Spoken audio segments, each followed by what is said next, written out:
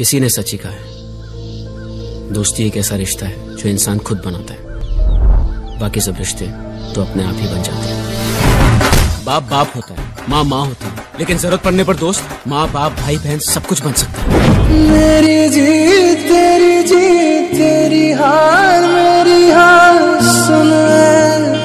मेरे